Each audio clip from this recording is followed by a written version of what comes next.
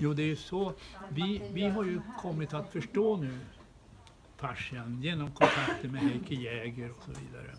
Och eh, fascian det ju, omger ju alla våra muskler. Det, är en kroppsstrumpa som finns med olika tentakler överallt. Och i fascian så finns inflammationscellerna. Och i fascian finns även nervändarna som reglerar smärta och sånt där. Så när inflammationen går igång ute i fascian, då får man smärta. Och då känner man ju av att det någonting inte är bra och så kan man göra någonting åt det.